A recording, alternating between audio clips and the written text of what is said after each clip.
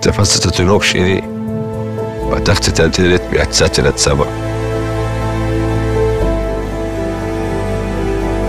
ראינו אנשים בתוך סכנת חיים.